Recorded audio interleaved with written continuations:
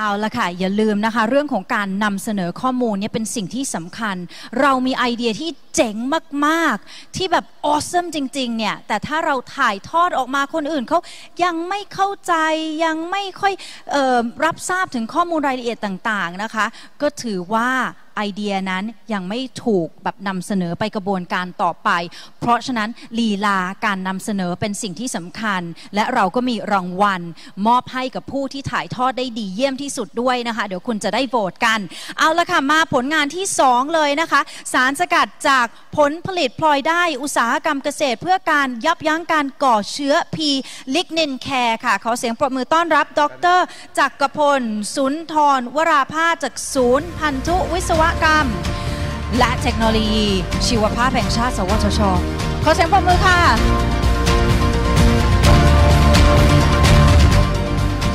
ขอบคุณครับคุณพัชรีสวัสดีผู้มีเกียรติทุกท่านนะครับ ก็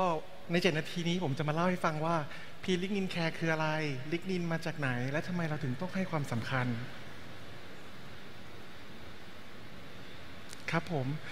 ตัวลิกนินนะครับจริงๆแล้วลิกนินเป็นวัสดุพื้นฐานที่มีอยู่ในพืชอยู่แล้วนะครับ ก็ยิ่งพืชต้นไม้ที่มีความแข็งแรงมาก ก็จะมีลิกนินมากในลิกนินเนี่ยมีอยู่ในอย่างเช่น ปาล์มอ้อย มันสำปะหลังและมะพร้าวคราวนี้เราจะเอาลิกนินออกมา มันก็มีเทคโนโลยีหลายอย่าง แต่พีลิกนินแคร์เรามีนวัตกรรมที่เอาลิกนินออกมาจากต้นไม้ผลหรือผลผลิตพลอยได้อุตสาหกรรมเกษตรเหล่านั้น โดยที่ไม่เป็นพิษต่อสิ่งแวดล้อม นอกจากนี้เราจะบอกอีกว่าทำไมถึงมีความสำคัญต่อประเทศ เพราะว่าเราเนี่ยเราจะเอาใช้ผลผลิตพอได้อุตสาหกรรมเกษตรบายโปรดักที่มีอยู่ครับที่มีอยู่ในปีหนึ่งมีหลายล้านล้านตันเลย เราจะเอาลิกนินออกมาก่อน แล้วก็คืนให้ท่านกลับไปเหมือนเดิม ไปใช้ประโยชน์ต่อไป นะครับ ตรงนี้เราขอจะเสนอในเฉพาะอ้อยเท่านั้นก่อนนะครับ อ้อยเนี่ยเราถูกใช้ในกระบวนการผลิตน้ำตาล สิ่งที่เหลือก็คือบากาส ในแต่ละปีมีอ้อยที่ประมาณเข้าหีบนะล่าสุดนะครับ 92 ล้านตันถูกผลิตเป็นน้ำตาล ใช่ไหมครับ แล้วก็จะมีกากอ้อยเหลืออยู่ที่ประมาณ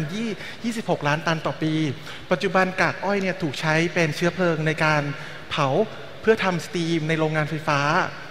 ผมจะบอกว่าจริงๆแล้วอะเอ่อ กากอ้อยเนี่ยครับที่เวลาก่อนที่จะไปเผาเนี่ยต้องถูกกองไว้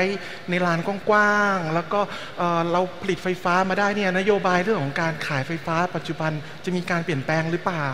อ้อยที่ถูกวางไว้ในลานเนี่ยมันมีการสูญเสียระหว่างนั้นไหมถ้าผมบอกเรามีเทคโนโลยี เรามีนวัตกรรมตัวหนึ่งขึ้นมา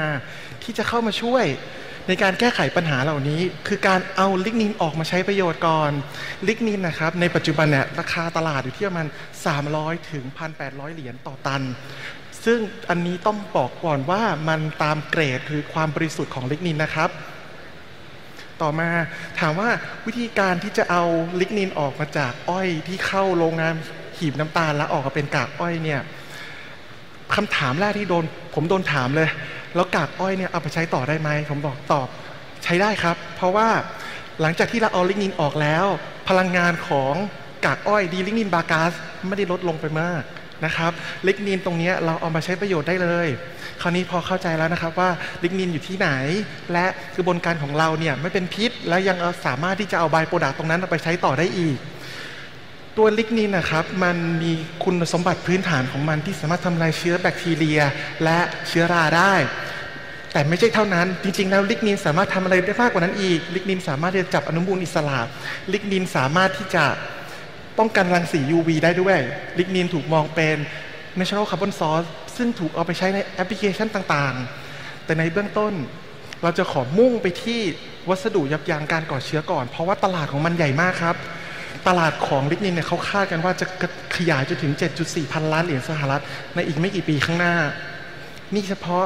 แอปพลิเคชันเดียวนะครับ แอปพลิเคชันอื่นอีกเนี่ยที่เราได้ทำการทดลองกันมาแล้ว เราได้ใส่ลิกนินเข้าไปในเส้นใยคาร์บอน เพื่อเพิ่มความสามารถในการนำไฟฟ้า เรามีการศึกษาใส่ลิกนินเข้าไปในกาวไม้อุตสาหกรรม เพื่อช่วยในการทดแทนการใช้ยูเรียฟอร์มาลดีไฮด์เรามีการทดสอบแล้วว่าลิกนินไม่ชอบน้ำเราสามารถใส่เข้าไปในวัสดุเพื่อ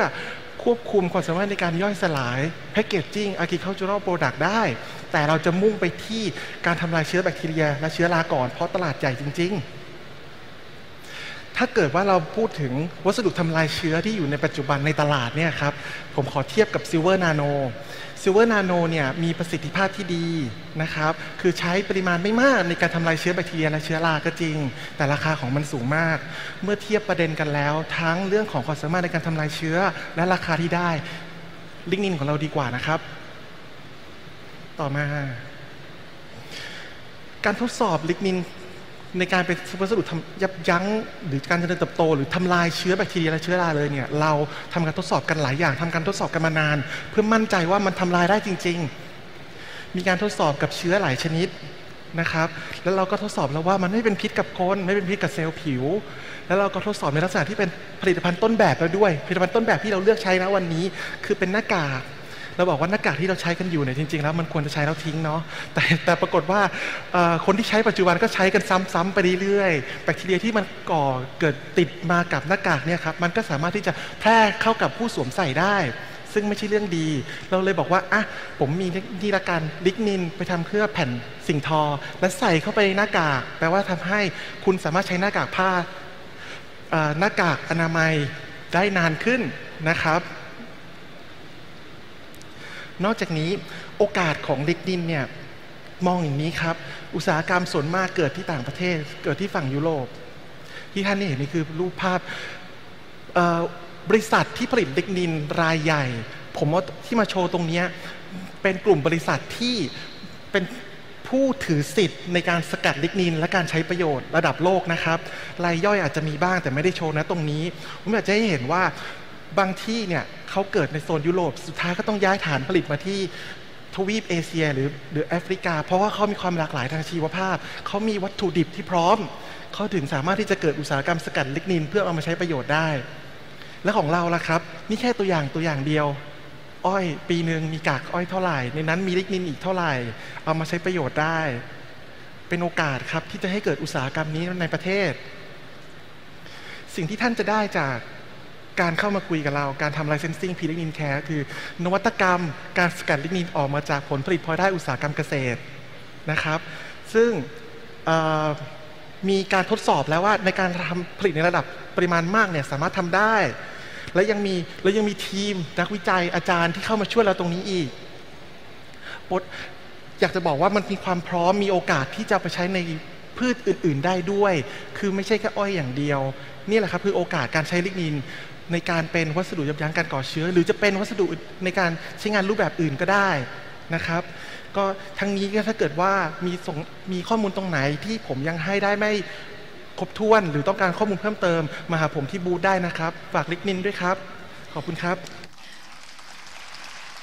ขอบพระคุณนะคะ ดรจากกระพลนะคะ น่าสนใจมาก ๆ เลยนะคะพีลิกนินแคร์มีประโยชน์ด้วยนะคะ เมื่อกี้นี้เนี่ยคะทางดรก็บอกว่าไอ้ที่เราใช้คุมนะคะหน้ากากเนี่ย